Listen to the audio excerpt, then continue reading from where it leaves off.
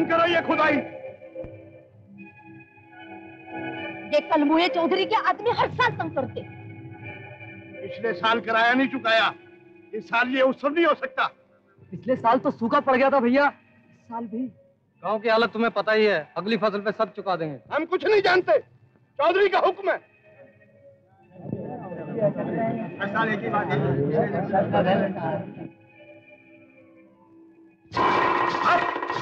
शाबाश। फिर से। एक दो तीन चार। शाबाश मैं वहाँ करूँगा। हाँ, हाँ, हाँ, हाँ। इसीलिए कहता हूँ लाठी के करतब सीख ले। पता नहीं दुश्मन किस पैंतरे से वार कर दे। कल से ज़रूर आ जाऊँगा भैया। अबे जो कल करे सो आज कर। जो आज करे सो अब। समझा? ले शुरू हो जा। चल। लेकिन भैया वहाँ साहूकार अपने कर्तव्य दिखा रहा है। वो फिर आ गया। हाँ भैया उसने अपने आदमियों से कहलवा भेजा है कि पंडाल तब लगेगा जब पिछली जन्माष्टमी का किराया मिलेगा। उसकी ऐसी। की तैसी धर्म के मामले में धंधा। चलो मेरे साथ। देखो राजू पहले धंधा फिर धर्म। दो खाम खा अपनी टांग अड़ा रखो जाओ अपना काम करो। मेरा तो काम यही है भैया। बीच बचाओ सोलह सफ़ाई। भर दो पिछला किराया और कर लो खुदाई।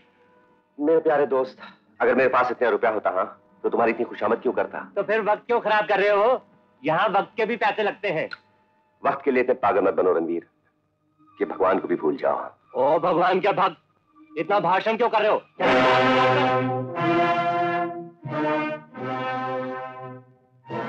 तो तुम राजू के बारे में कह रहे हो? वो लुफंगा? उसकी ये हिम्मत उसकी ये हिम्मत और मेरे साथ। ये हिम्मत। अरे मरने को कौन जाए? ये धरती भगवान की है। लेकिन भगवान ने चौधरी के भाग्य में लिख दिया राजू।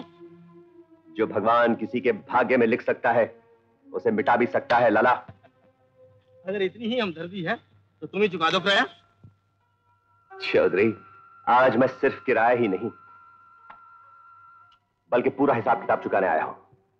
बोलो कितना है? हिसाब से होता है? लाठी से नहीं राजू। शाफे से काम लो।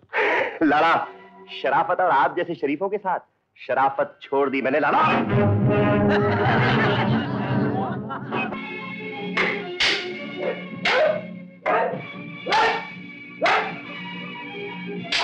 Hey!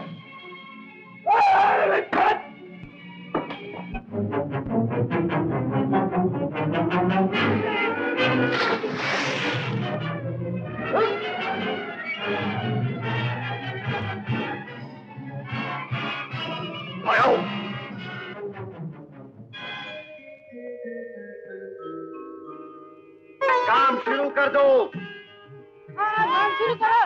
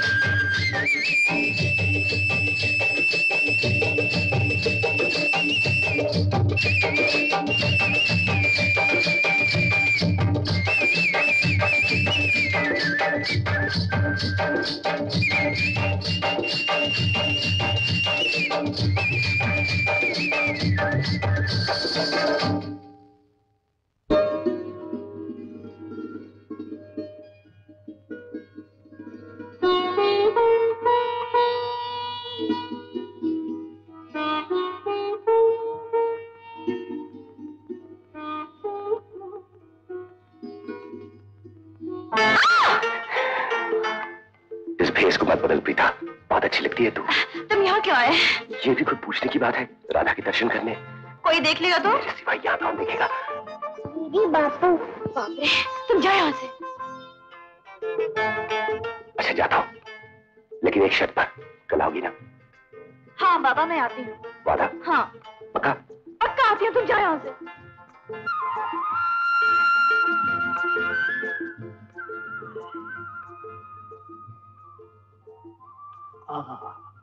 तेरे हाथ की चाय में इतना मज़ा आता है कि क्या बताऊँ। सोचता हूँ कल तेरी शादी होगी तो इतना मज़ा कहाँ से आएगा? वाह मैं आ जाऊँगी। मैं तुम्हें चाय नहीं पिलाऊँगी क्या? अरे रे मुर्दू इतनी जल्दी बुरा मान गई तू? वाह मैं नहीं तुमसे बोलती। तुमसे बिल्कुल ही प्यार नहीं करती। अरे बेटे तुझसे प्यार करूँगा तो और किससे करूँगा? तुम दोनों के कारण तो मैं ज़िंदा ये तो कब का मर गया होता? बापू। इधर बेटी जाओ तुम खेलो। प्रीता वो सदाशिव बाबू याद है ना तुम्हें? कौन वो रतनपुर वाले चाचा जी? हाँ उनकी लड़की थी ना दुर्गा। हाँ। दुर्गा ने अपने बाप को मार डाला। कैसे? कैसे क्या? बेचारे सदाशिव ने लड़की का कहीं रिश्ता तय किया हुआ था। और ऐन शादी के दिन दुर्गा ने उस लड़के से शादी करने से इनकार कर दिया। और किसी दूसरे लड़के के साथ भाग गई। बेचारा सदाशिव उसके मुँह पे बेटी ने गालक पोत दी। बिरादरी को मुँह कैसे दिखाती?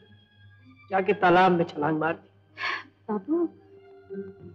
चलो अच्छा ही हुआ। कम से कम मर के बच तो गया। वो तो क्या? मैं भी अगर उसकी जगह बाबू। तू काहे को इतना परेशान होती है पगली? कहा दुर्गा कहा तू? दुर्गा तो अपने बाप को बाप ही नहीं समझती। और तू मेरा कितना ख्याल रखती है। अरे हाँ बेटी कल शाम को चार बजे कुछ लोग शहर से आ रहे हैं। तो उधर घर पे रहना, उनके खाने पीने का इंतज़ाम करना। होगा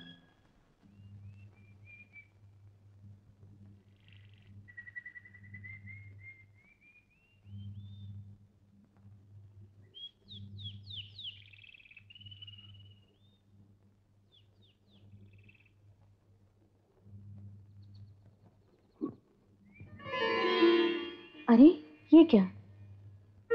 देवी को खुश करने के लिए पुजारी के पास बस एक ही रास्ता है।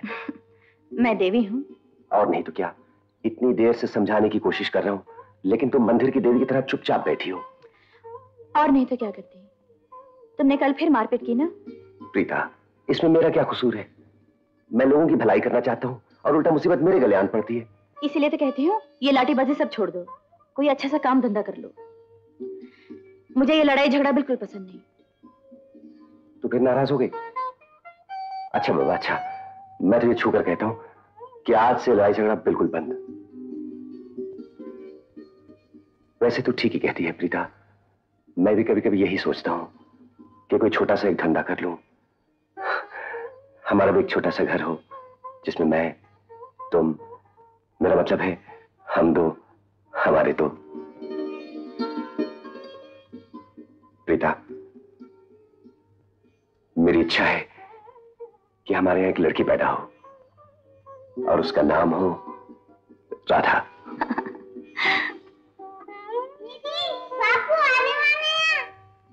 अरे मैं तो भूल गई थी।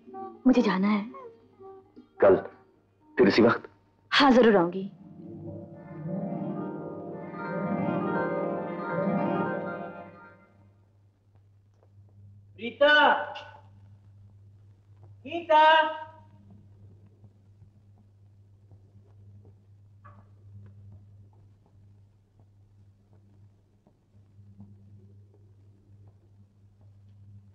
कहाँ गायब हो गई दोनों? गीता! मैं आ गई बापू इतनी देर कहाँ कर दी बेटे बस थोड़ी देर लगी थी। अरे तुमने हाथ मुँह नहीं धोया गीता तुम जल्दी से तौलिया पानी दो बापू को। मैं चाय बना के लाती हूँ। बापू आइंदा देर नहीं होगी। चल। अच्छा राम प्रसाद जी चाहते हैं। टाइम बहुत हो गया। चलिए मैं भी चलता हूँ। प्रीता बेटी? जी बाबू। मैं जरा सहाय साहब को छोड़ गया अच्छा नमस्ते फिर आएगा। अब आना जाना तो लगा रहेगा बेटी। और तेरी शादी पर भी आना ही पड़ेगा। क्यों राम प्रसाद जी?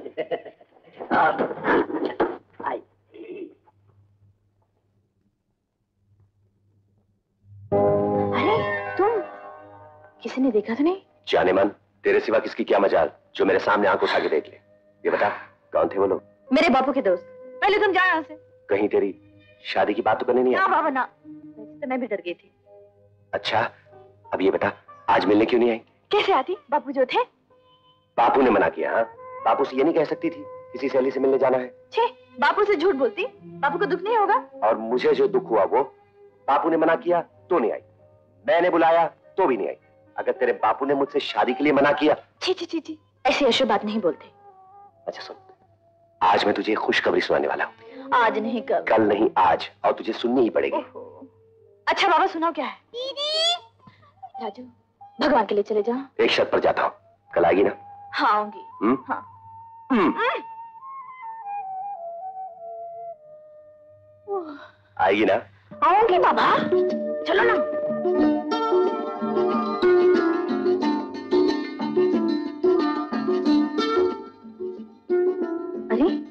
खुशी में।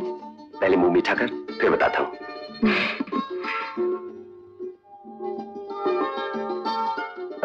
अभी बताओ। शहर में मेरी नौकरी पक्की हो गई। सच? हाँ बेटा शहर पहुँचते ही मैं एक छोटा सा घर लूँगा और उसको स्वर्ग की तरह सजाऊँगा और फिर तेरे लिए नए नए कपड़े नए नए गहने और एक छोटा सा पल्ला पन्ना? हम्म, और फिर हम दो हमारे दो। शादी के बाद। तू फ़िक्र मत कर। अगली पूर्णमासी तक लौट के पहले तेरे बापू से तेरा हाथ मांगूँगा और फिर हम दो बस फिर वही बात। तुम तो हमेशा सपनों में खोए रहते हो।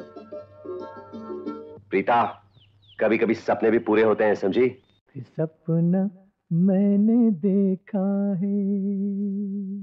एक सपना मैंने देखा है, एक सपना मैंने देखा है, तेरे हाथ में थी तकदीर मेरी।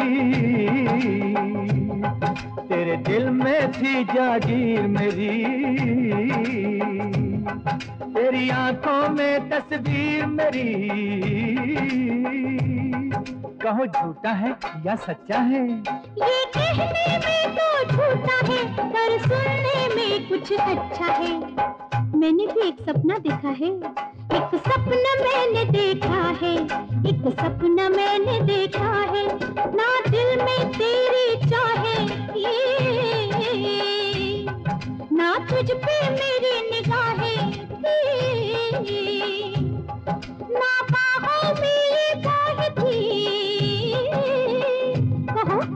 झूठा है या सच्चा है?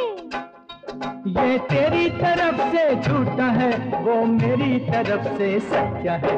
एक सपना मैंने देखा है। एक सपना मैंने देखा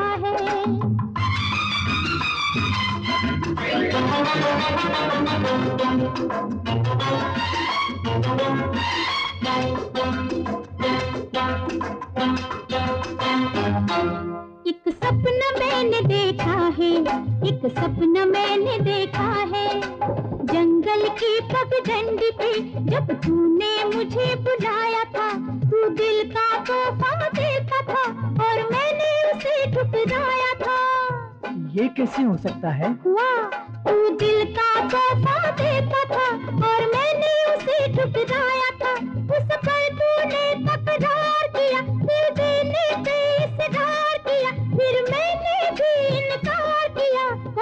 झूठा है या सच्चा है? ना सुनने में ही अच्छा है, ना कहने में ही अच्छा है। एक सपना एक सपना मैंने देखा है, एक सपना मैंने देखा है।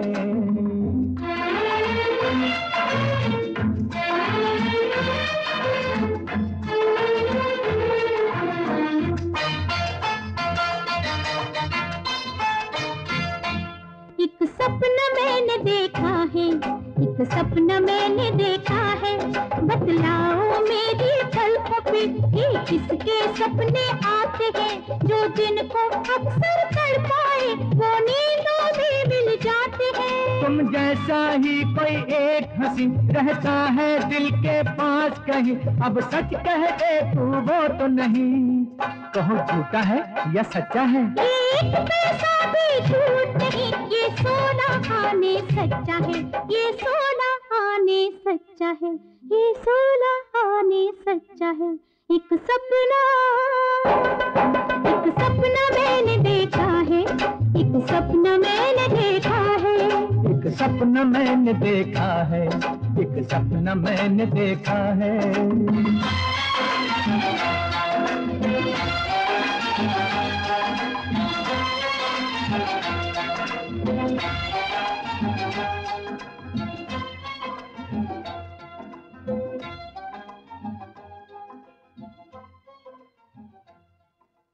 कहते हैं ये कपड़े बेटी।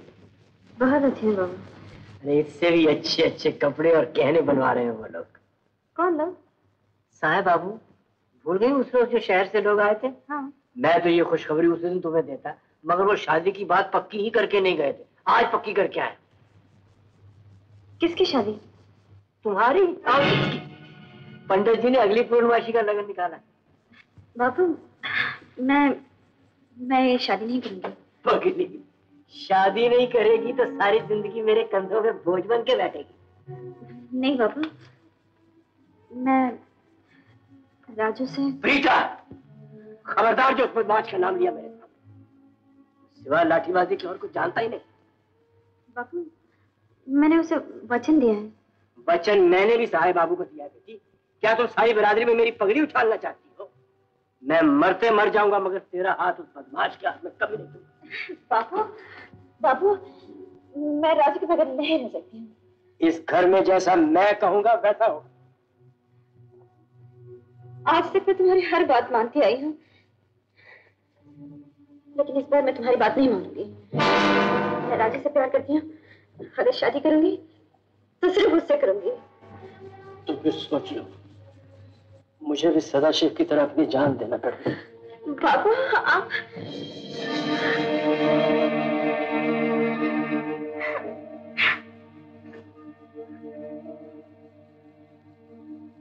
दीदी ये आपने अच्छा नहीं किया। क्या अच्छा नहीं किया?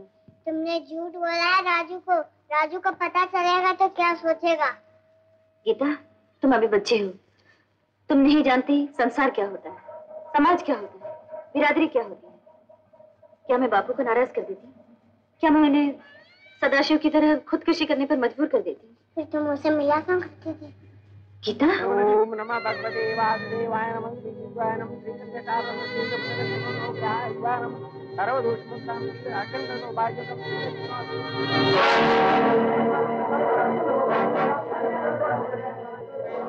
ये शादी नहीं हो सकती।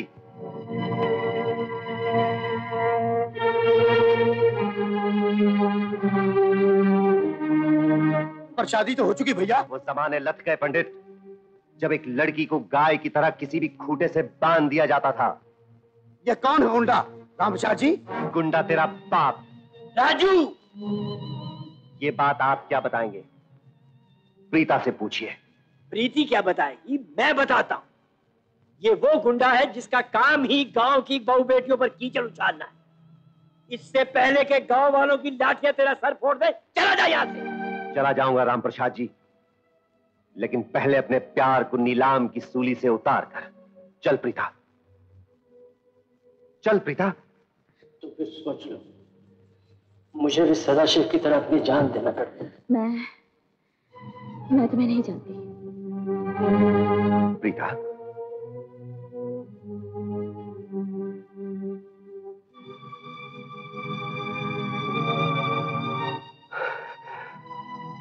चले जाओ यहाँ से। भले समाज में मुझे बदनाम करने की कोशिश मत करो। बदनाम तूने आज वफा के नाम को किया है प्रीता। विश्वासघात किया है तूने। तेरी ये बेवफाई की सजा सारी दुनिया भुगतनी पड़ेगी। आज के बाद मेरे लिए एक खिलौना है जिसे सिर्फ़ खेल के तोड़ दिया जाता है।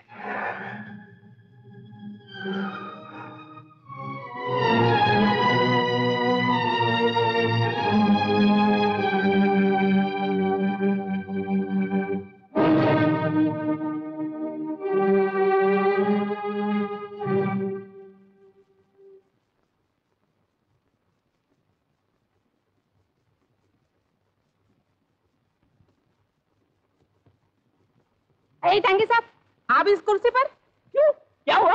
और फिर ये जो राय साहब है ना ये राय साहब ये अपना यार है क्या यार है जिसको तू बॉस बॉस बॉस बोलती है। ए जहांगीर साहब मैं तो भूल ही गई। क्या भूल गई?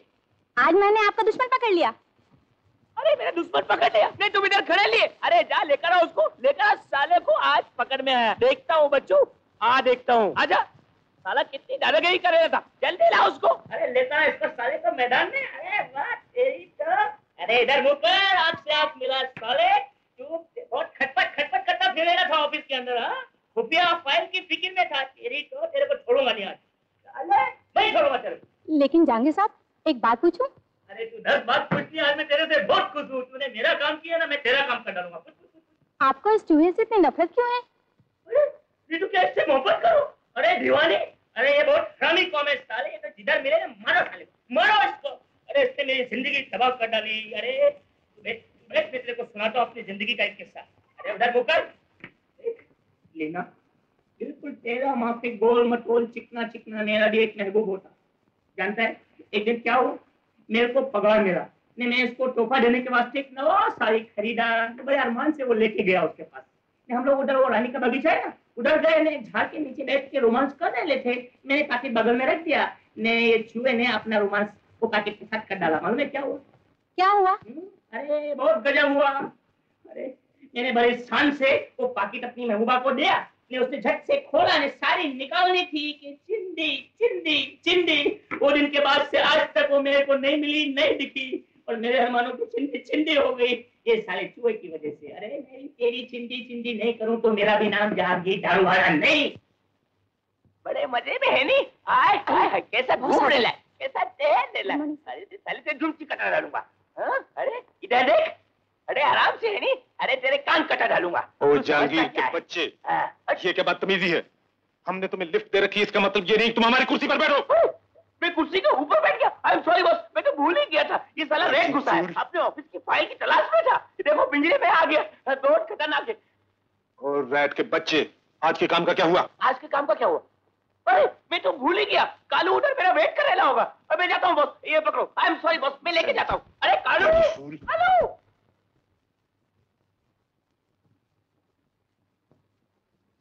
लीना मुझे ये दफ्तर में बदतमीजी बिल्कुल पसंद नहीं। I want discipline okay I am sorry sir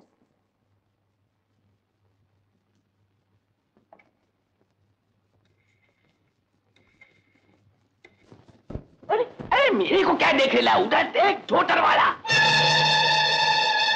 नवा पंछी मालूम होता है जाकर खेल ले। अपना खोपड़ी इस्तेमाल नहीं कर रहा जैसे मैं बोला वैसा करना समझा? आप समझाए मैं ना समझूं? वो समझदार। चल अभी जा जल्दी जा जल्दी। ये टूटर वाले लोग काय को आते सिटी के अंदर? भैया यहाँ कोई धर्मशाला मिलेगी? धर्मशाला? जहाँ धर्म ही नहीं वहाँ उसकी शाला कहा? यहाँ तो कर्मशालाएँ हैं। कर्मशाला? मेरा मतलब है होटल है क्लब है बहुत बड़े बड़े फ्लैट्स हैं। आ, कोई कोई रहने की जगह नहीं मिलेगी? हुँ? माल पानी कितना है? आ, माल बिना भैया कोई बॉम्बे आता है। टैक्सी!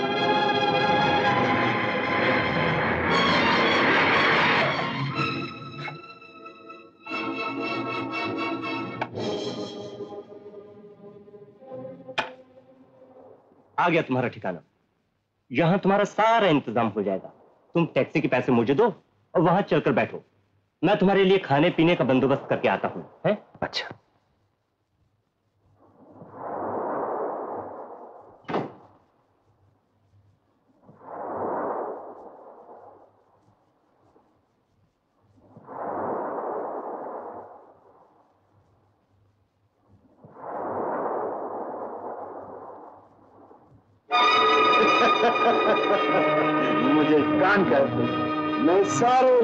दादा हूँ। तो दोस्त तुम्हारा स्वागत हाथ से किया जाए।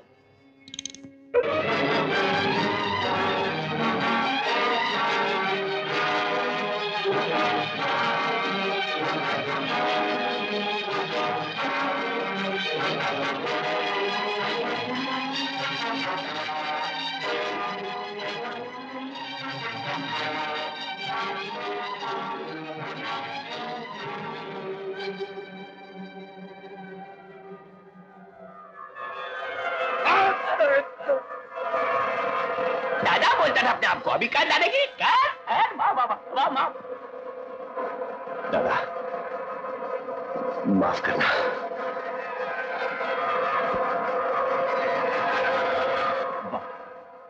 क्या बात है, क्या बात है। गाँव की ताकत और शहर का दिमाग अगर एक हो जाए तो क्या नहीं कर सकते? बढ़ाओ दोस्ती का हाथ। हम्म। यार कानू ये राजू तो बिल्कुल जेम्स बॉन्ड का माफिक दिखता है। डराऊं डराऊं। हाँ जागीर साहब इसमें कोई शक नहीं। अरे मैं भी डर गया था। अभी उसको जेम्स बॉन्ड बोला तो तू डर गया था नहीं हो गया था। चल चल मैं थोड़ी डरता हूँ। आप कैसे डरेंगे?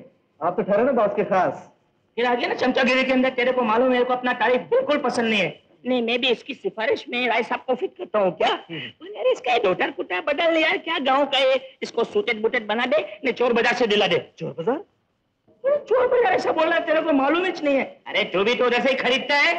चुप यार आहिस्ता बोल का तो फिर ठीक है चलो। बोलता चोर बाज़ार ड्रामा करता अरे सारी दुनिया चोर बाज़ार हो रही।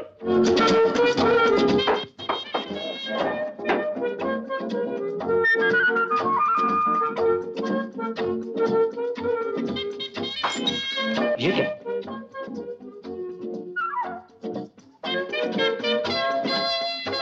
नई ज़िंदगी के नए उसूलों में पहला उसूल।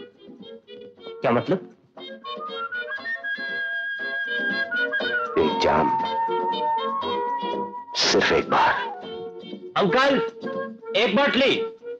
और पाँच ग्लास। पागल हो गया।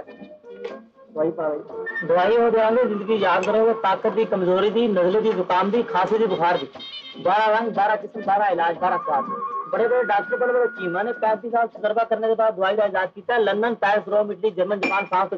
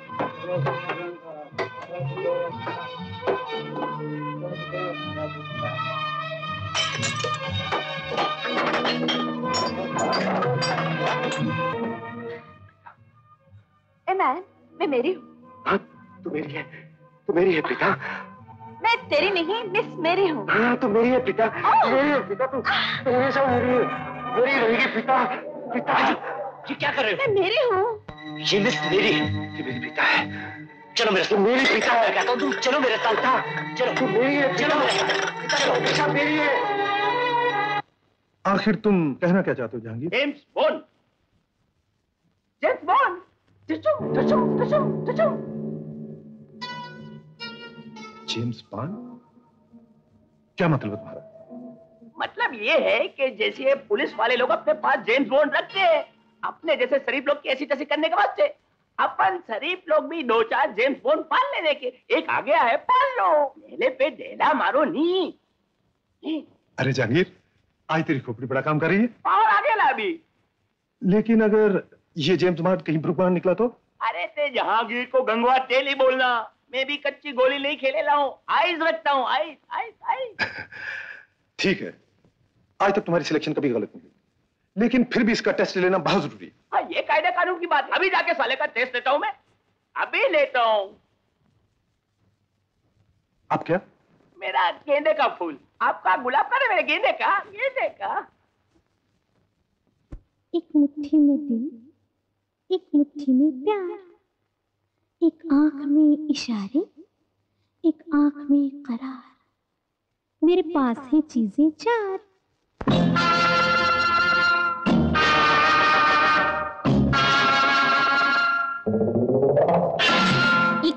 मुट्ठी में दिल, एक मुट्ठी में प्यार, एक मुट्ठी में दिल। आहा, एक मुट्ठी में प्यार, एक आँख में इशारे, एक आँख में करार मेरे पास चीज़ें चार बोलो जी लेंगे। क्या आप लेंगे?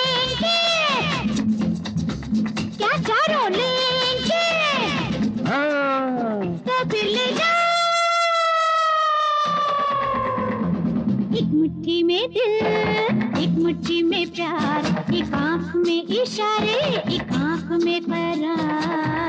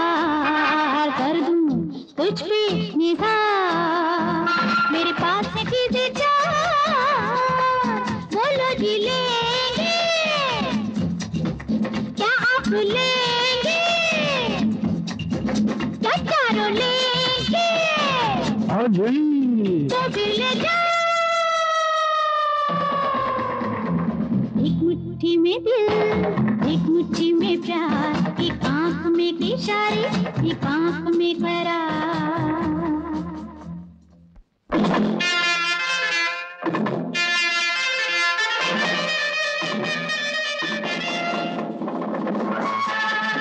अरे क्या राय साहब बोलते थे? ब्रूट बॉन्ड अरे ये तो जेम्स बॉन्ड का भी बाप है। की खुशबू कजरी की धार। अल्हड़ जवानी ये खिलती बहार। मेरे पास है चीज़ें चार बोलो जी लेंगे। क्या आप लेंगे? क्या चारों लेंगे? Yes, yes, yes.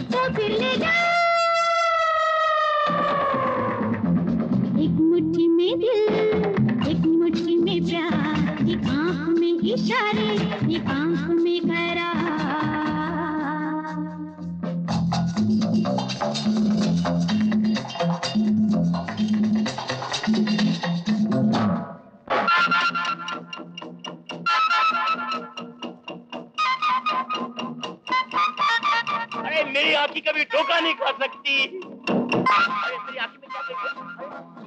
मेरी आंखी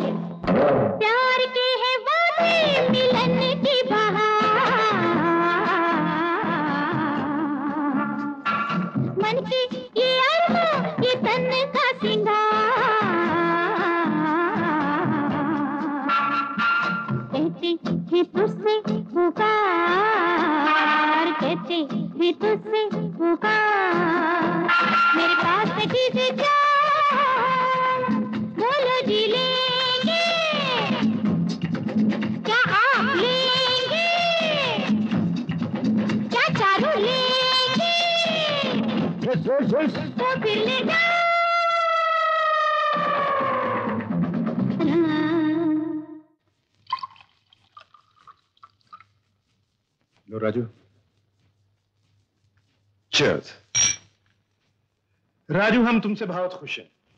हम ही क्या? सभी लोग तुम्हारी बेहद तारीफ़ करते हैं। ताश खेलना जानते हो? ज़िंदगी में यही खेल खेलता आया हूँ राय साहब बाजियाँ जीती हैं या हारी हैं? यूँ समझ लीजिए कि ताश की तो हर बाजी जीता हूँ। लेकिन ज़िंदगी की बाजी हार कर आया हूँ। ज़िंदगी में एक ना एक हार बहुत ज़रूरी है राजू। और हर हार एक नई जीत का पैगाम देती है। मुकाबला कर सकोगे? किससे? प्रिंसेस ऑफ़ रामनगर दुनिया के बड़े बड़े खिलाड़ी उसके सामने घुटने टेकते और लोग उसे ताश की बेगम के नाम से पुकारते हैं। तो फिर उस बेगम से इस गुलाम का मुकाबला करवा दीजिए। गुलाम नहीं बादशाह। तुम वहाँ राजकुमार बनकर जाओगे। राजकुमार ऑफ़ पन्नापुर स्टेट चीयर्स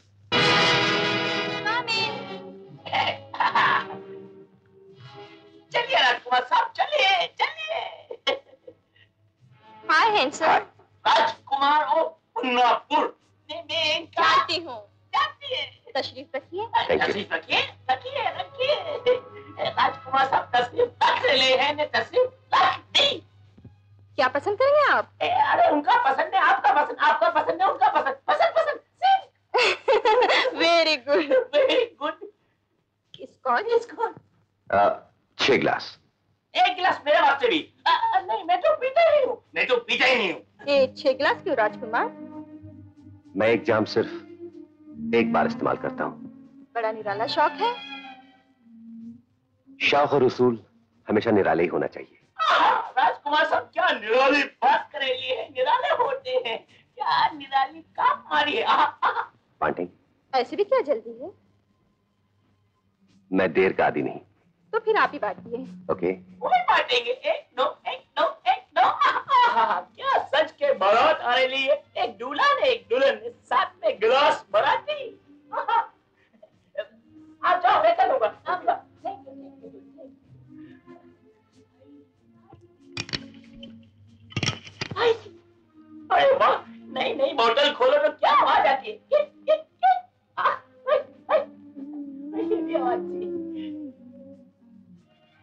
चाल मेरी पाँच हज़ार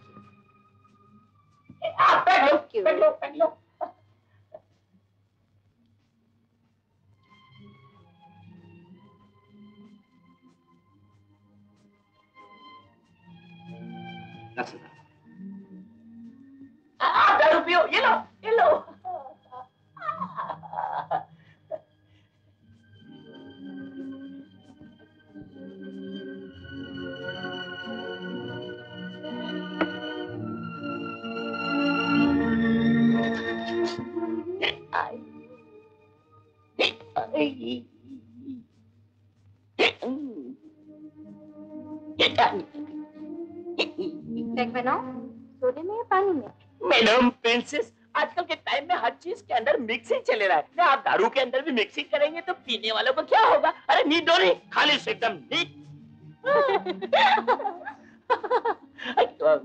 नहीं, खाली मेरे वास्ते।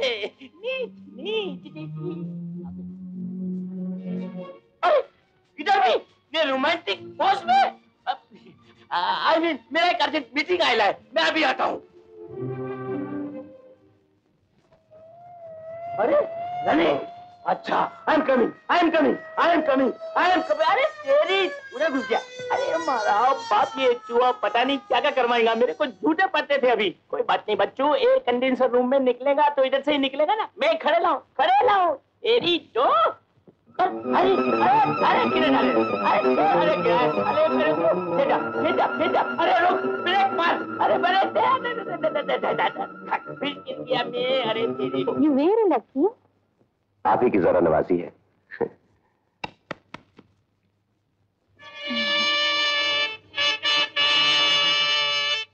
ये पाँच हज़ार की ब्लाउज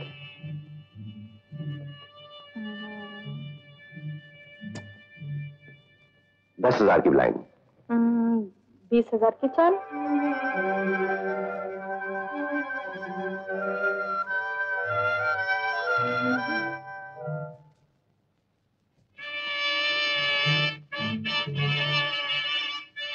दस बीस तीस चालीस हज़ार की चार चालीस हज़ार का शुरू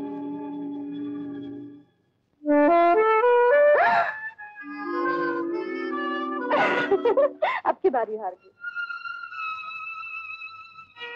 हाँ एक जाम सिर्फ़ एक बार।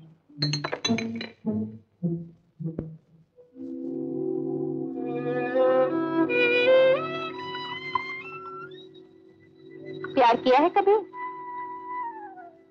प्यार। पुरानी बात हो गई है। तो नई बात क्या है? प्यास। लगती है बुझा लेते हैं। और कौन से खेल जानते हैं आप? जो सामने वाला खेल आपसे तो डर लगने लगा।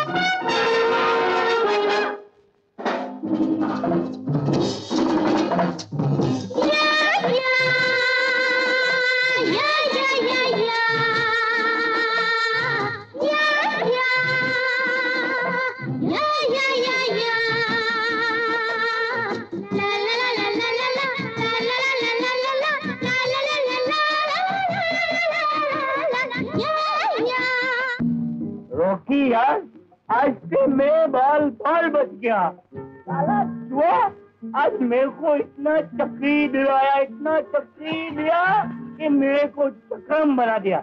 मैंने दोस्त दोस्त में एक छोकरे के बेडरूम में घुस गया। पर ये छोकरे लोग भी देखो यार आजकल की। अरे बाबा बेडरूम के अंदर कुछ भी करो नहीं, पर अंदर से दरवाज़ा तो बंद करो अरे मेरे जैसा शरीफ आदमी फंस जाता था। अरे वो तो फेलियत हो गई कि आईना बीच में आ गया। मैं छोकरे को आईने के अंदर देखा। आईने के अंदर से छोकरे ने मेरे को नहीं देखा। अगर वो मेरे को देखती तो छोड़ती अरे, इतने झूठे मारती इतने झूठे मारती वो तो खैरियत हो गई कि मेरे को मेरी आबरू का ख्याल आ गया। मैंने अपनी धूम दबा के ने चूहे के पीछे भागा। भागा भागा मसाला और मेरे को मिला नहीं हरामी, मिलता। अरे यार, थोड़ी सी मदद की ज़रूरत थी। अगर तू होता ना तो मैं साले का खटूमर बना डालता। मगर यार, आज तू मेरे से वादा कर। कि उस होटल में अपन जाएँगे नहीं तू मेरे साथ में जाएगा। बोल वादा करता है। बोल यार। अरे वेरी गुड अभी तुम जाओ हाँ? Good night. Very good. देखो बाजू की कुटिया से नैन नहीं लड़ाना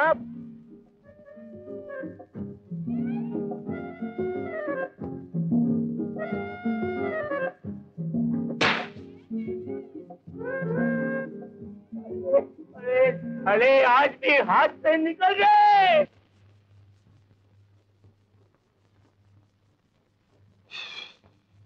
चलो अच्छा हुआ प्रिंसेस के मिल जाने से शायद तुम्हारी ज़िंदगी में भी कोई मोड़ आ जाए। मैं वो रास्ता हो रहा है साहब जो ऐसे मोड़ों पर मुड़ सकता है लेकिन रुक नहीं सकता। इसका मतलब है इंग्लिश वाला। जहांगीर यस तुम बोलने से बात नहीं आ सकते क्या? मैं को गलत बोला? नहीं बोलता नहीं बोलता। राजू तुमने ठीक कहा। मेरा भी ज़िंदगी में यही असूल रहा। अगर तुम भी इन उसूलों पर चलते रहे तो दुनिया की हर कामयाबी तुम्हारे कदम चूमेगी। God bless you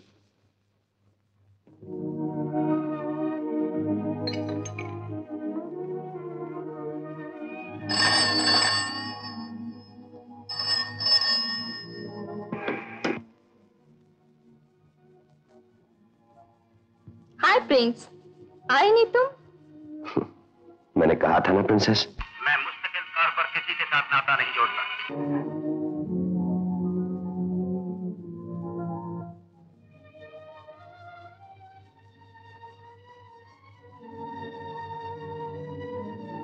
डॉक्टर बच्ची पैदा हुई है लेकिन मदर का कंडीशन बहुत सीरियस है। प्रीता! प्रीता! प्रीता! मुझे माफ़ करना।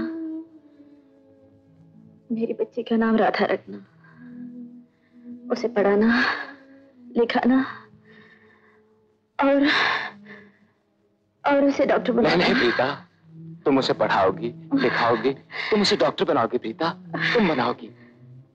तुम हाँ। मैं हाँ प्रीता। हाँ, हाँ प्रीता। प्रीता।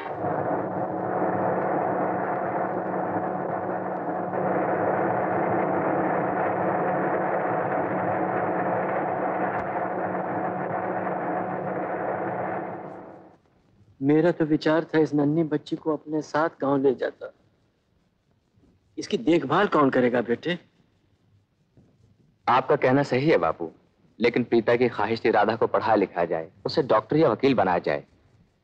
मैं तो चाहता हूँ आप यहीं रह जाते गीता की पढ़ाई भी हो जाती और आपका साथ भी मेरे सर पे बना रहता।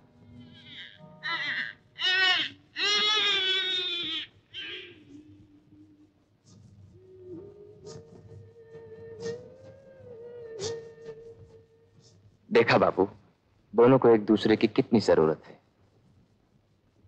प्रीता मेरी बच्ची कितनी जिम्मेदारियाँ छोड़ गई है तुम हमारे कंधों पर। बापू।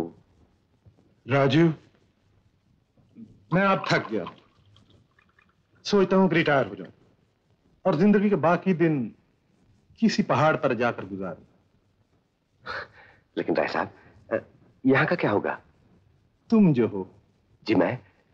भला इतना बड़ा कारोबार में राजू आज तुम्हें अकेले बुलाने का यहाँ कारण यही है मैं चाहता हूँ फ़िलहाल बल्कि हमेशा हमेशा के लिए ये सारा कारोबार तुम्हें सौंप दूँ। जी।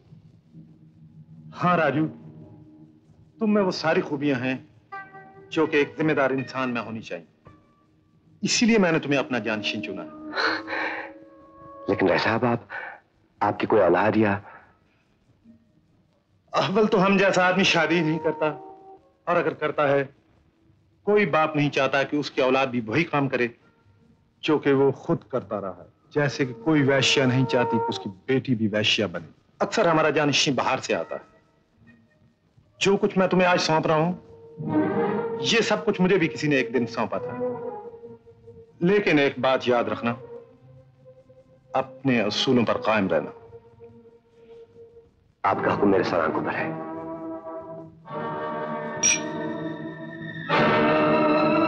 May I come in sir good morning Rai साहब राय साहब को ये फूल बहुत पसंद थे। ये ड्यूटी उन्होंने मुझे सौंप रखी थी।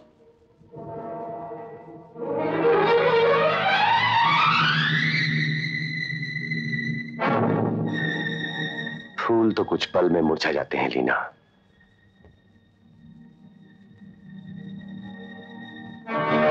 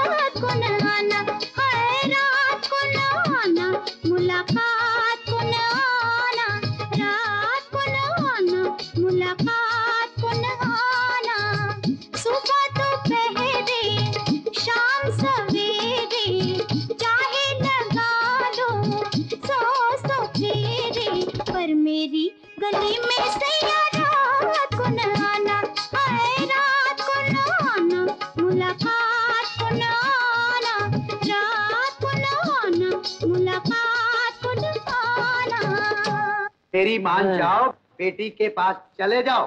शहर में इलाज बिलाज। अरे ये कैसी बातें कर रहे हो जमुना दास? राम राम राम। बाप और बेटी के घर जाके रहे। ना ना ना। अरे ये तो मेरी किस्मत अच्छी कि जमाई राज ने गीता बेटी को पढ़ाया लिखाया इतना बड़ा किया।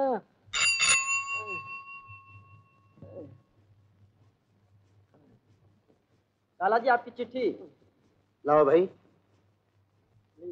राम प्रसाद जी देखो तो किसकी चिट्ठी आई है? अरे जमाई राज के अलावा मुझे और कौन चिट्ठियाँ लिखता है?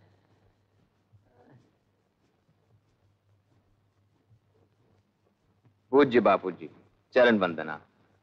बहुत दिनों से आपकी कोई खबर न मिलने से दिल उदास था और गीता और राधा तो आपको बहुत याद करती हैं।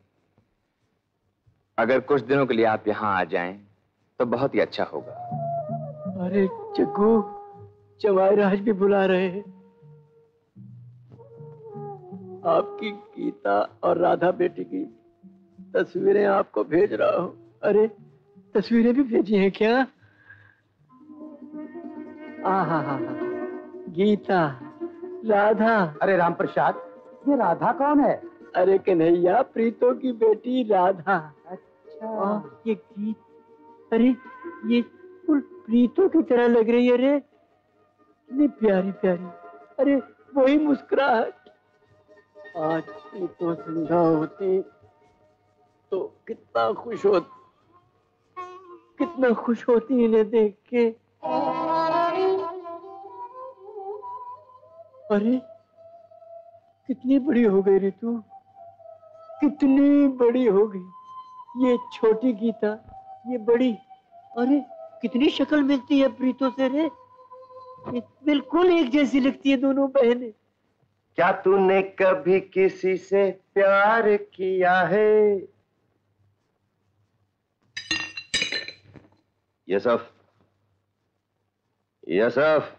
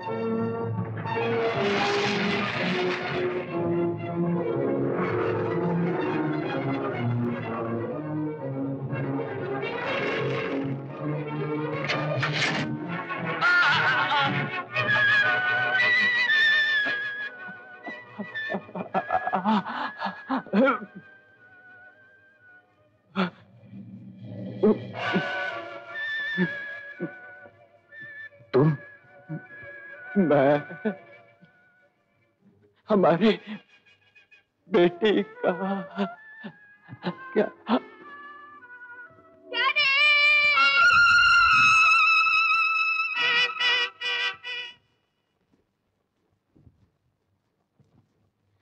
मैं पूछती हूँ ये महिला आश्रम बेसहारा औरतों को सहारा देने के लिए है या मर्दों की काली करतूतों पर पर्दा डालने के लिए? दीदी आप सच मानिए इसमें मेरा कोई दोष नहीं। तुम्हारा दोष नहीं है तो फिर किसका दोष है? अगर तुम अपने आप को मर्द के हवाले न करो तो मर्द की क्या मजाल जो तुम्हें खिलौना समझे? ये मत भूलो कि आज का जमाना बदल गया है। और अब औरत इतनी कमज़ोर नहीं जितनी अठारहवीं सदी में थी। मैंने भी तो औरत के रूप में जन्म लिया है। मैं भी जवान हूँ, खूबसूरत हूँ। लेकिन आज तक किसी ने मुझ पर डोरे डालने की कोशिश नहीं की। इसलिए कि इंसान अपना बचाव आप करता है। दीदी, औरत की सबसे बड़ी दौलत उसकी अजमत होती है। और फिर मेरे साथ तो धोखा किया गया। उस कमबख्त ने मेरी और मेरी घर वालों की गरीबी पर पहले तो अनगिनत एहसान किए और जब उसके एहसानों तले दबने के बाद भी मैंने उसे अपने आप को नहीं सौंपा तो उसने एक ज़बरदस्त नाटक किया। मुझसे शादी रचानी चाहिए। मंगनी की रस्म भी अदा की गई। हमारी शादी की तारीख भी तय हो गई। लेकिन लेकिन शादी से पहले एक दिन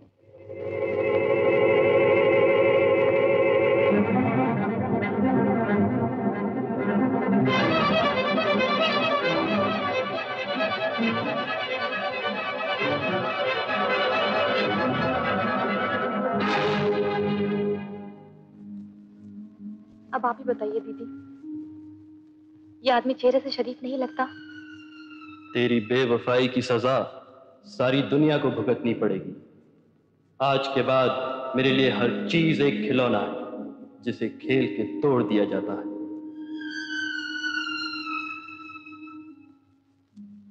राजू। चलो तुम्हें आज आंटी से मिलाती हूँ। आंटी से? ना बाबा ना। क्यों? डर लगता है क्या? डर तो नहीं लगता लेकिन सोचता हूँ अगर तुम मुझे अपनी आंटी से मिलाओगी ना कहीं मेरा तुमसे मिलना ना बंद करा दे। ना बाबा ना। फिर तो मैं तुम्हें नहीं मिलाऊँगी। श्याम हम्म, जब मैं स्कूल जाती हूँ ना वहाँ भी बस तुम्हारे बारे में ध्यान लगा रहता है। मेरी भी कुछ ऐसी हालत है राधा। ऐसा क्यों होता है श्याम? ये शायद एक किस्म की बीमारी है राधा। बाप रे फिर तो मैं तुम्हें आंटी से ज़रूर मिलाऊँगी। क्यों?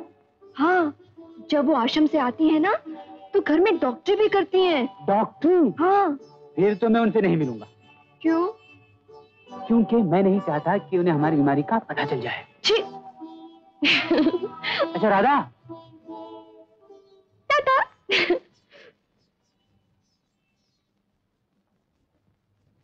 ओ दादा आप आइए। हाँ बेटी अचानक आना पड़ा। बैठिए। कुछ खास बात है? हाँ तुम्हें कल पूना जाना पड़ेगा पंद्रह बीस दिन के लिए। पूना? क्यों? वहाँ एक नया महिला आश्रम खोला गया है जिसकी देखभाल तुम्हें सौंपी गई। लेकिन यहाँ? यहाँ तो सब ठीक ठाक है। वहाँ हर काम नए सिरे से करना होगा। क्या मैं कर सकूँगी? ज़रूर कर सकोगी। इस वक्त तो मेरी नज़र में तुमसे बेहतर सुपरवाइजर और नहीं है। ठीक है जैसे आप कहते हैं। अच्छा मैं चलता हूँ। अभी टेप रिकॉर्डर के मैं भर के दूँ कि काम हो गया बोला ना हो गया हो गया हो गया बाबा। साहब ऑफ़िस में है। हाँ भाई साहब ऑफ़िस में है लेकिन आप ऑफ़िस में काय को है भाई? हम जरा उनसे चंदे के बारे में बात करना चाहते हैं। चंदा? अरे चंदा का तुम लोगों का धंधा बन गया है। अरे दरबान ये गले में काय को फंडा डाल तू? हम लोग आश्रम से आए अरे आश्रम से भी लोग तरीके से आते बंसरी बजा के आते ने बेन बजा बजा के आते तुम्हारा कौन सा ऐलान है? अनाथ आश्रम से नहीं महिला आश्रम से आए अरे महिला महिला महिला आश्रम अरे महिला लोग भी आए क्या? अरे मैं आता हूँ महिला आश्रम से एक आदमी ने दो भाई लोग आई है। भेजू। in. Yeah, yeah, yeah, I get you. Okay, okay. फरमाइए क्या सेवा की जाए आप लोगों की? जी हम लोग अपने महिला आश्रम के लिए एक शो कर रहे हैं ताकि इस आमदनी से समाज की ठुकराई हुई चल लड़कियों की शादी हो सके। वेरी गुड ऐसे लोगों की मदद करना हमारा फ़र्ज़ है।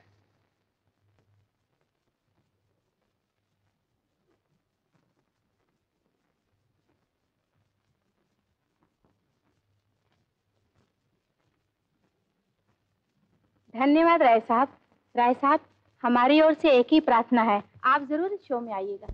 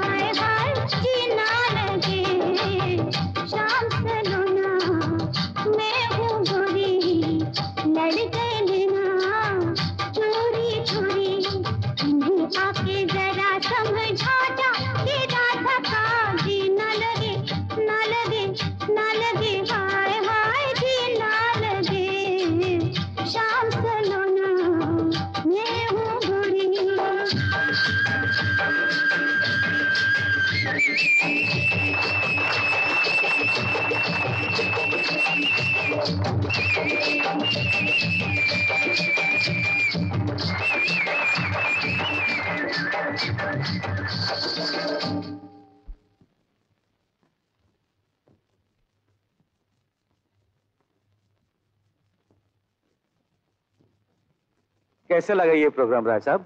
बहुत अच्छे साहब बहुत अच्छे। मैनेजर साहब हमें चाहते हैं कि हमारी तरफ़ से आपको एक छोटा सा तोहफा पेश करें। जहांगीर वो पच्चीस हज़ार का चेक अभी देता हूँ। इससे पहले भी तो आप दे चुके हैं। मैनेजर साहब ऐसे नेक कामों के लिए जितना भी दिया जाए उतना कम है। वो धर्मात्मा है। धन्यवाद राय साहब। अ, हमें चाहते हैं कि जिस लड़की ने आज अपनी कला का प्रदर्शन किया है उसे ये मौका दिया जाए कि वो अपनी कला को ज़्यादा से ज़्यादा निखार सके। और उसकी ज़िम्मेदारी हम खुद लेना चाहते हैं। राय साहब का मतलब ये है कि छोकरी बड़े बड़े लोग में रहेगी तो बड़ी बड़ी पब्लिसिटी होगी ने छोकरी की लाइफ बन जाएगी। अभी आप समझो नहीं? हाँ? लेकिन ये लड़की इस आश्रम की नहीं। इसके लिए मुझे इसके घर वालों से पूछना पड़ेगा। ज़रूर ज़रूर। इससे अच्छी बात क्या हो। सकती है जहांगीर आपसे फिर मिलेंगे। नमस्ते। थैंक यू साहब जी हाँ? कितना महान और धर्मात्मा आदमी है।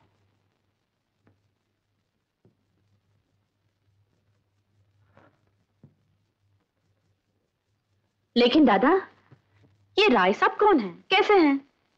वो सिर्फ़ नाम के राय साहब नहीं हर साल सबसे ज़्यादा चंदा महिला आश्रम को उन्हीं की तरफ़ से मिलता है। और सिर्फ़ महिला आश्रम क्या? न जाने कितनी यतीम खाने हॉस्पिटल स्कूल उन्हीं के नाम से चलते हैं। वो सब ठीक है। लेकिन दादा आप ही बताइए क्या मैं राधा को इतनी दूर छोड़कर अकेली रह सकूँगी? लो।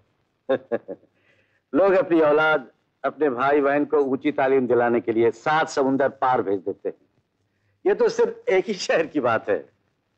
और फिर मैं ये सोचता था कि तुमने जो अपनी भांजी के भविष्य के लिए इतने सपने जो सजा रखे हैं दिन रात मेहनत कर रही हो हो सकता है तुम्हारी आशाओं को पूरा करने के लिए भगवान ने राय साहब के मन में ये बात डाल दी हो।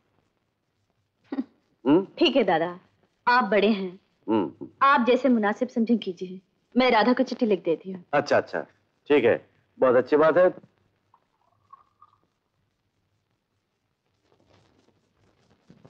श्याम श्याम।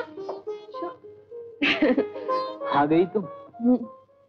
मैं तो समझा था कि शायद आमिरी की झलक देखकर गरीब की याद भी दिल से उतर गई अरे तुम खुश नहीं हो? आंटी तो बहुत खुश है।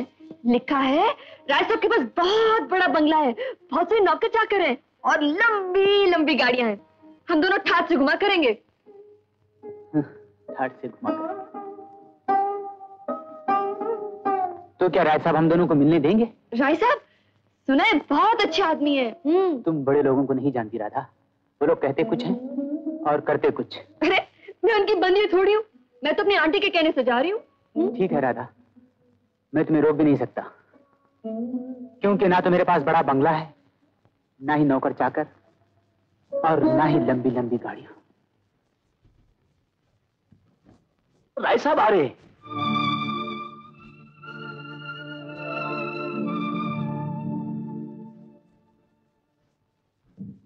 वेलकम आप राय साहब हैं?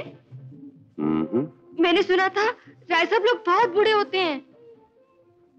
लेकिन आप इतने बुढ़े नहीं हैं हाँ। थैंक यू आओ तुम्हें तुम्हारा घर दिखाए। मेरा घर? हम्म, आज से यहाँ की हर चीज़ तुम्हारी है। आओ। ये तुम्हारा ड्राइंग रूम है। ठहरिए ये क्या कर रही हो? चप्पल उतार लो। क्यों? ये गंदा हो जाएगा ना? तो क्या हुआ? दूसरा बिछ जाएगा। और भी आपके पास? बहुत सारे हैं। एक तुम्हारे बेडरूम में भी है। देखोगी हाँ चलिए ना।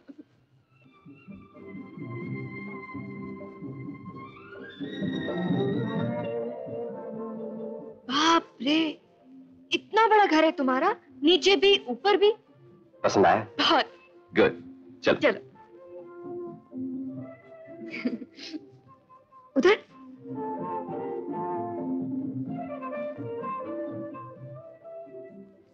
ये रहा तुम्हारा बेडरूम अरे वाह!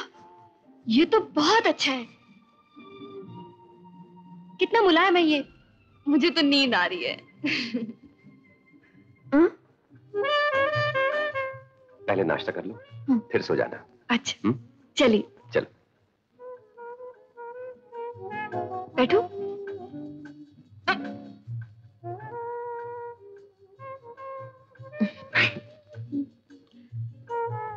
इतना सारा नाश्ता? ये सब तुम्हारे लिए है।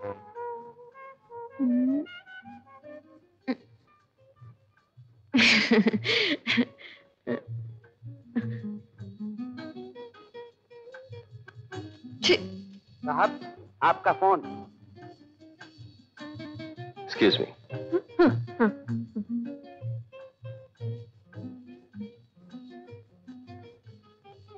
हेलो आज से रूम नंबर 302 में ताला लगा दो समझे?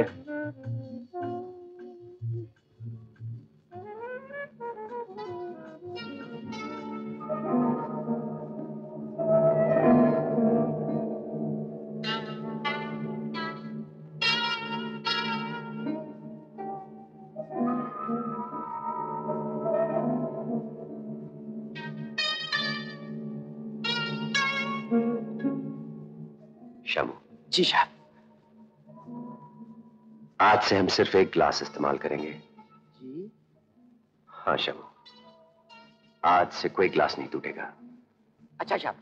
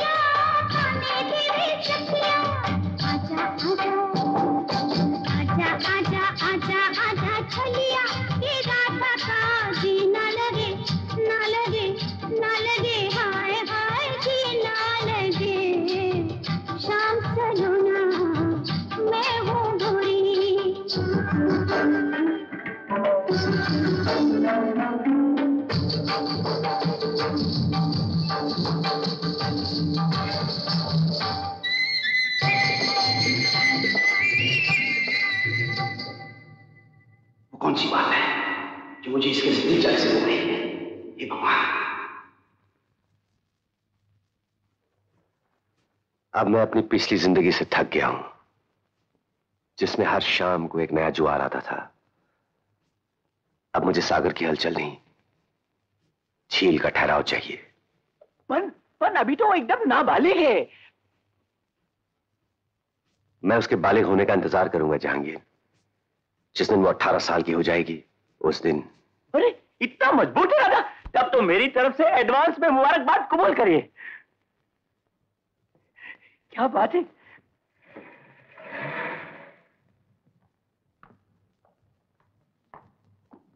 श्याम साहब राधा कहाँ है जी अंदर है। श्याम तुम गाड़ी से सामान निकालो। बहुत अच्छा साहब राधा। ये क्या है? इस घर में सब कुछ था राय साहब सिर्फ़ भगवान की गद्दी नहीं थी। चलो आओ देखो तुम्हारे लिए हम क्या लाए। मेरे लिए?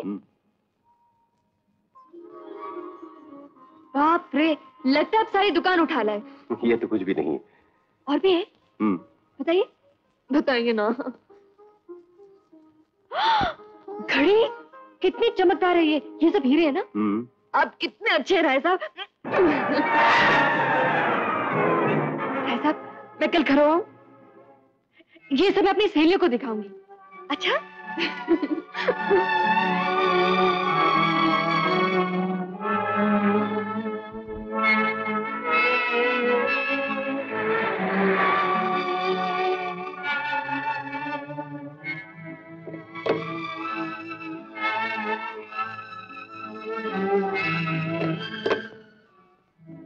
राधा। राधा को देखे आज बीस दिन हो गए। आंटी!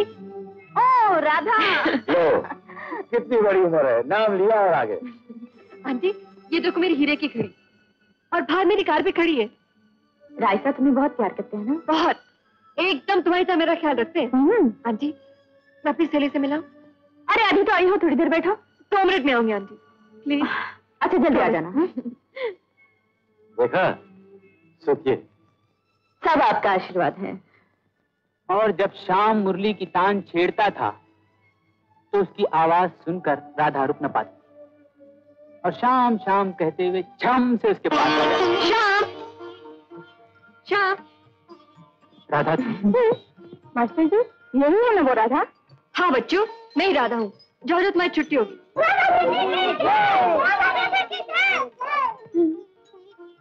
राधा दीदी तुम रोज आया करो। क्यों? हमें छुट्टी मिल जाएगी। चल भाग। पढ़ाई में ध्यान नहीं छुट्टी की फ़िक्र रहती।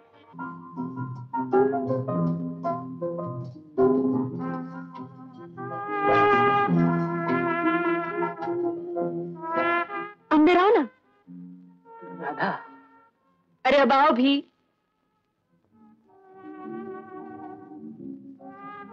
ड्राइवर? चलो।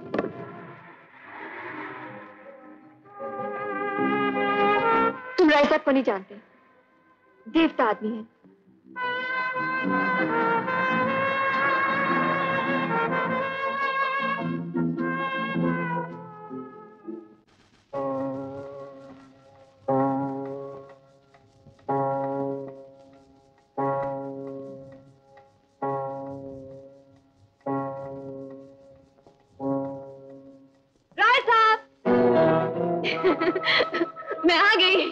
बजाए घड़ी में।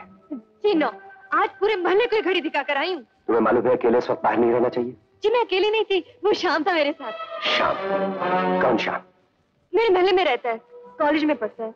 बेचारा अपनी फ़ीस के लिए बच्चों को ट्यूशन पढ़ाता है। कोई भी हो ये मत भूलो राधा कि अब तुम्हारा ताल्लुक एक बड़े खानदान से है और तुम्हारा किसी भी छोटे आदमी से मिलना ठीक नहीं।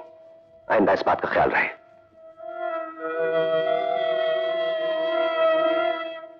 रानी राय साहब ठीक बोल रहे थे। छोड़ो ना काका तुम फ़िल्म नहीं देखते क्या? नहीं नहीं अरे हर लड़की के घर वाले यही बोलते हैं। अच्छा? मैं चुपके चुपके मिलाया करूँगी।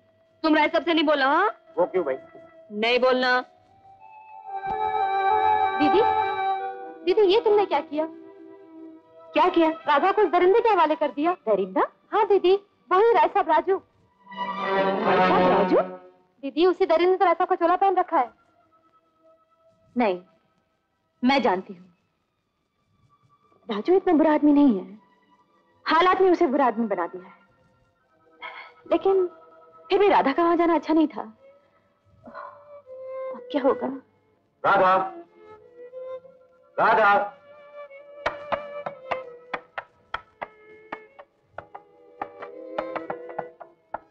देखो मैं तुम्हारे लिए क्या लाया हूँ। मेरे लिए? हम्म। आओ ना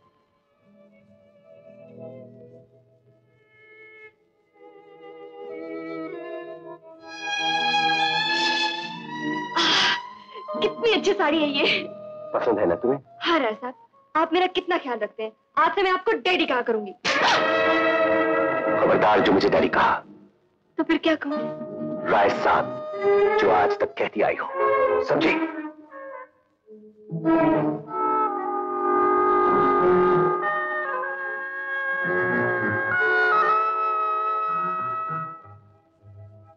कौन सा रिश्ता तय किया तुमने मेरा राय साहब के राधा। क्या लगती हूँ मैं उनकी? माँ बहन बेटी बीवी? आज से तू वहाँ नहीं जाएगी राधा। मुझे मेरे सवालों का जवाब चाहिए आंटी। अनजाने में मुझसे भूल हो गई राधा। काश मुझे मालूम होता ये राय साहब वही राजू है। राजू? कौन राजू? दीदी और राजू दोनों एक दूसरे को बहुत प्यार करते थे। लेकिन दीदी ने खानदान की इज़्ज़त के लिए अपने अरमानों का गला घोंट दिया और जीजाजी से शादी कर ली। और राजू सारी दुनिया के लोगों का दुश्मन बन गया। लेकिन उसने कभी मेरे साथ ऐसा व्यवहार नहीं किया। महिला आश्रम के प्रोग्राम में उसने तुझमें दीदी की झलक देखी होगी। और शायद शायद नहीं। ये सच है। दादा? हाँ बेटी। वो अपनी पिछली ज़िंदगी से थक चुका है। अब वो राधा से शादी करना चाहता है। नहीं नहीं। मैं ऐसा नहीं होने दूँगी। आप ये सब जानते मुझे भी तो अभी अभी उसकी सेक्रेटरी से पता चला है। आंटी मुझे आशीर्वाद दो। कि मैं अपनी माँ के नाम पे लगे हुए कलंक को धो सकूँ। हाँ आंटी। मुझे पालने की चाहत में वो एक इंसान बन गया है। और अगर उसे मुझसे भी सहारा न मिला तो? माँ के छोड़ने के बाद वो एक दरिंदा बन गया था। और अगर मैं भी उसकी ज़िंदगी से चली गई तो वो एक राक्षस बन जाएगा। ये तुम क्या कह रही हो? हाँ आंटी। माँ ने अपनी खानदान की इज़्ज़त बचाने के लिए अपने अरमानों को भेंट चढ़ा दिया था। और मैं मैं भी उसी माँ की बेटी हूँ। अपने अरमानों को उन्हें सुधारने के लिए फिर चढ़ा दूँगी। राधा मुझे आशीर्वाद दो आंटी। दादा इसे रोकिए ना आप।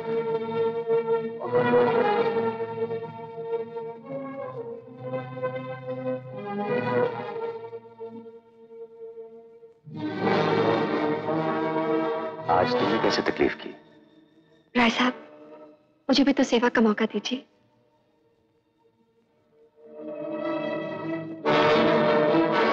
बीबी जी आपका फ़ोन।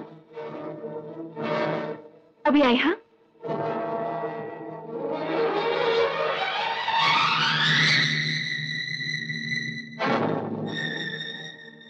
Hello hello Radha. मैं श्याम बोल रहा हूँ। श्याम आज तो मुझे फ़ोन नहीं करोगे। लेकिन क्यों? और मिलने की कोशिश भी नहीं करोगे। राधा। कल तक मैं अपना बुरा भला नहीं सोच सकती थी। लेकिन आज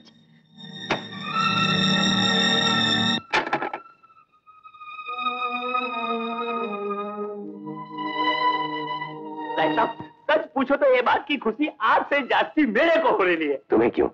अरे मेरे वर्षों की तमन्ना थी कि मैं आपके सर पर तेरा बनेला देखूँ ईमान से। आप बोलते थे ना आपकी ज़िंदगी बिखरे लिए अभी किसी की हसीन बाहों में सिमट जाएगी। मुझे अपनी माँ के माथे पर लगे हुए कलंक को धोना होगा। अपना प्यार अपना आप सब कुछ कुर्बान करना होगा।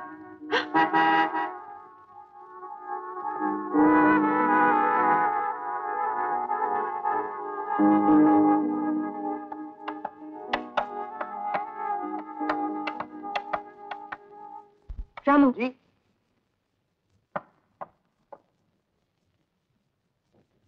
आज आप आज आप जल्दी आ गए? क्या करूँ? तुम्हारे बगैर ऑफ़िस में दिल नहीं लग रहा था। आपके लिए चाय लाऊं? चाय? जी जी समझ गई।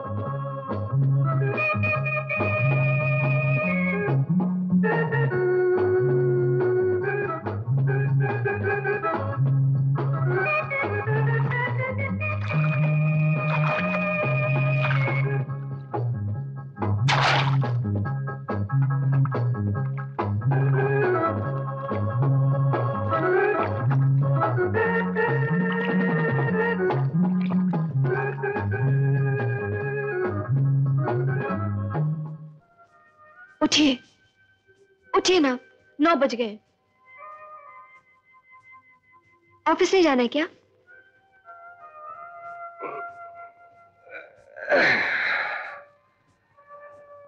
आज मैं ऑफ़िस नहीं जाऊँगा। क्यों?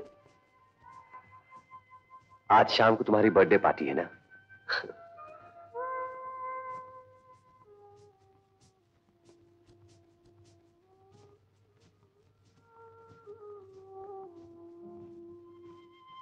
तुमने ये सब पहले क्यों नहीं बताया?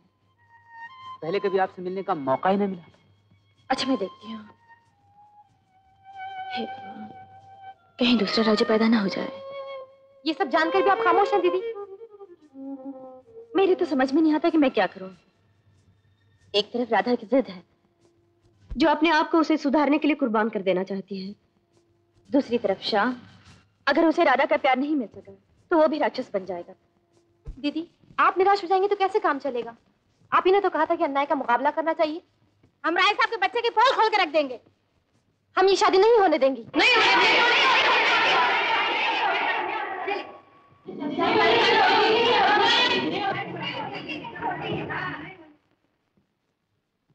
कौन हो तुम? तुम मुझे नहीं जानते लेकिन मैं तुम्हें अच्छी तरह जानता हूँ।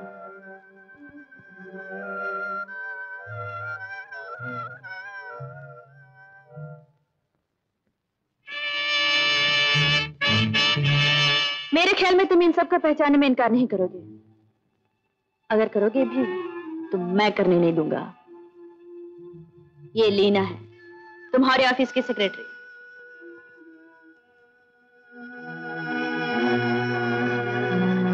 सो व्हाट कहते हैं मालिक माँ बाप होता है अन्नदाता होता है।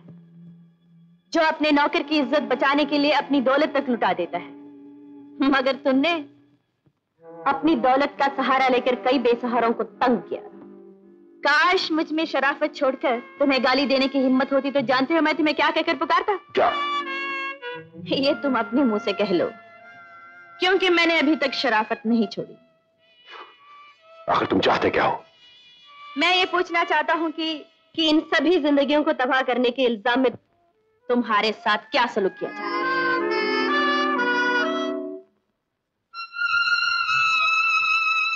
मैं तुम्हारा मतलब समझ गया।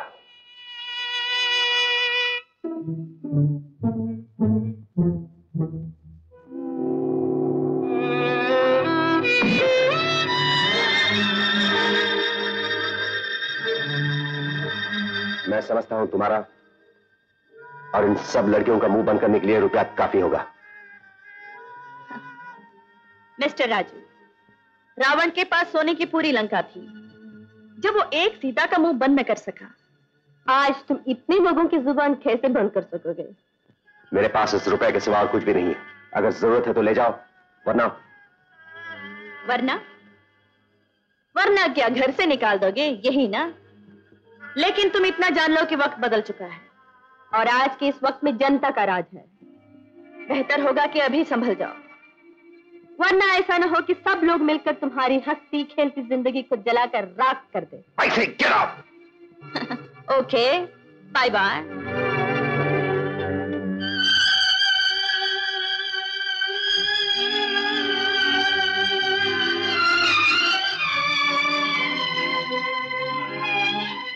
birthday party के साथ में एक खुशखबरी भी है। हमारे राय साहब की शादी ने खाना बर्बादी होने वाली है। अरे बात अरे क्या बात करता है?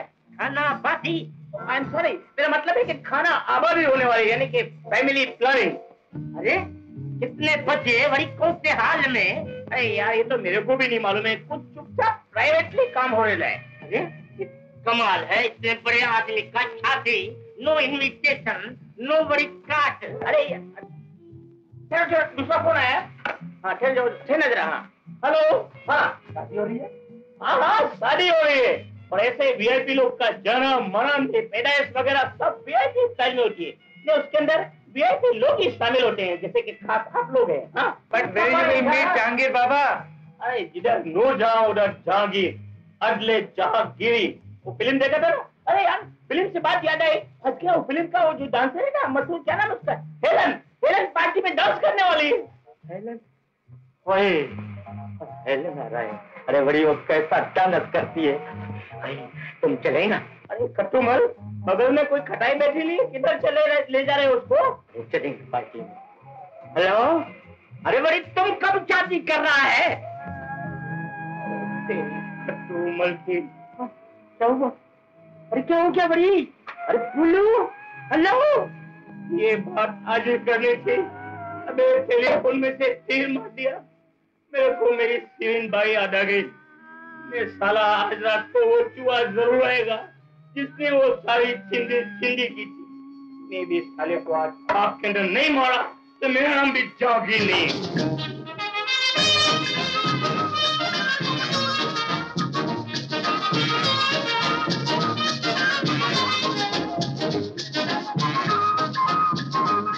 शादी मुबारक। अरे बाबा, मेरा शादी नहीं है राय सबका शादी है। हेम भाई का डांस पूरे अंदर जाओ अंदर जाओ अंदर जाओ अंदर जाओ। हाँ जी, मेरा शादी नहीं है, अंदर चलो, अंदर डांस है। इसको बोलो, मेरा शादी हो रहा है। मैं को करे डांस अंदर हो रहा है, मैं बात करेगा अंदर जागी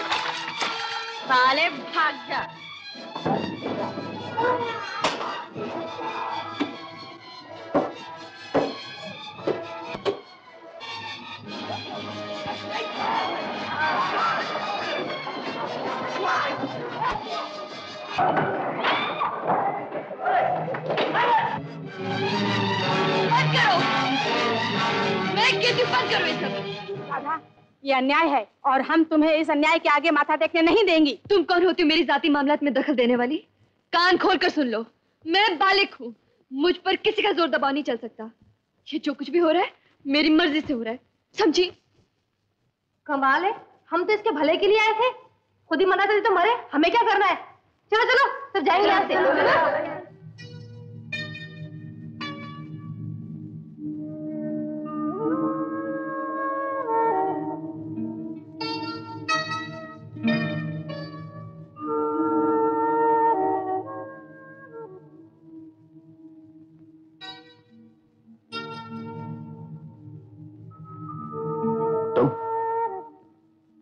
मैं भी पुलिस को फ़ोन करता हूँ।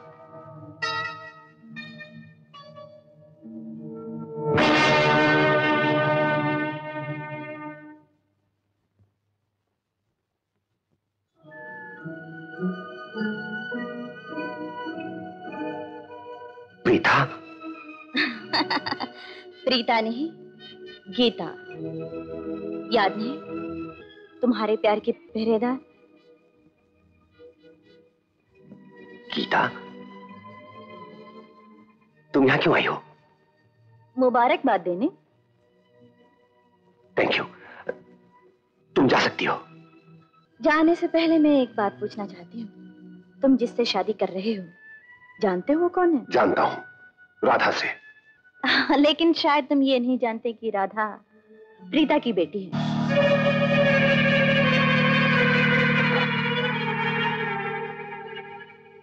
सो व्हाट राधा प्रीता की बेटी है। मेरी तो नहीं। पत्नी और प्रेमिका में ज़्यादा फ़र्क नहीं होता, राजू। राधा प्रीता की बेटी है। इसलिए तुमने उसमें प्रीता की झलक देखी और अपनी ज़िंदगी को एक नया मोड़ देना चाहा। लेकिन क्या कभी तुमने ये भी सोचा है कि राधा के साथ तुम वो सलूक क्यों न कर पाए, जो तुम दूसरी अनगिनत लड़कियों के साथ करते आए हो? इसलिए कि राधा प्रीता की बेटी है और प्रीता की बेटी तुम्हारी बेटी है। जिसे तुम नहीं, लेकिन तुम्हारे अंदर का राजू जानता था। बोलो, जवाब दो। बोलते क्यों नहीं?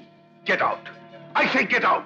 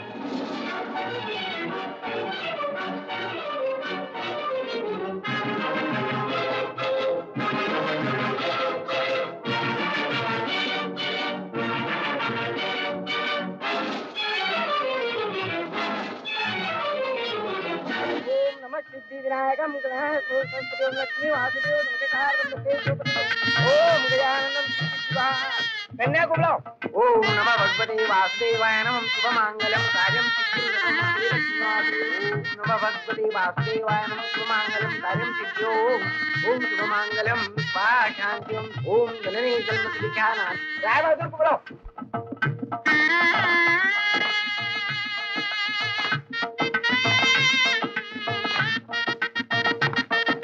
हरम सिद्धम ओम तत्सव श्री गजानन मत्ता ओम जननी सरस्वती ध्याना ने वदने प्रथम पदम पूर्णम नटते रक्षि सुधा ओम लग्न विवाह कन्या वरदानम ओम वधुवानशम ओम मेरी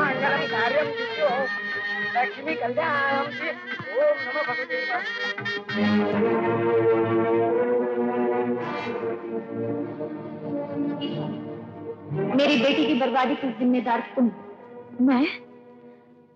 मैंने तो चाहा था कि वो रुक जाए, लेकिन वो रुकी नहीं। राधा के अंदर राजू ने तुम्हारी झलक देखी है। तेरी शक्ल तो खूब मुझसे मिलती है खुद उसके सामने क्यों नहीं जाती? तुझे देखकर वो राधा को भूल सकता है। भूल सकता है? हाँ भूल सकता है। जब राधा अपने आप को उसे सुधारने के लिए कुर्बान कर सकती है तो क्या तू राधा के लिए अपने आप को कुर्बान नहीं कर सकती? दीदी! बोल कुर्बान नहीं कर सकती। दीदी, कुर्बान नहीं कर सकती। दीदी!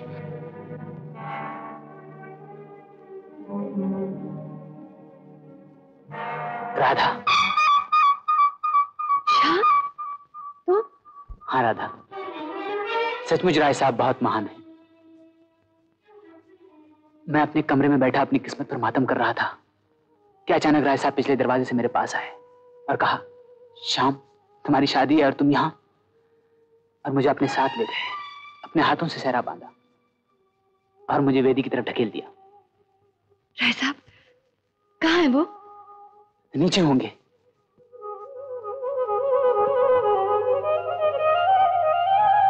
गीता